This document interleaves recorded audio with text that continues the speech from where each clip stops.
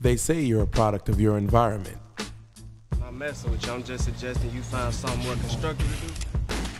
causing you not to dream bigger than the average. You be treating girls like video chicks and tricks off the corner. I just want you all No, Trey, you need to learn how to treat girls with respect. You get multiplied, triple, doubled. That five dollars, multiply that by five. You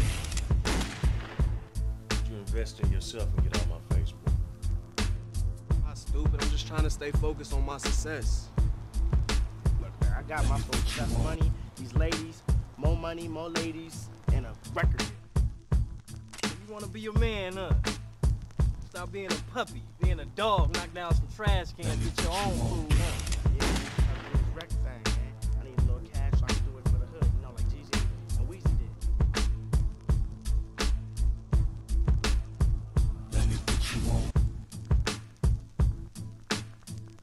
But when you try to make it to the top, believe it's no easy fight.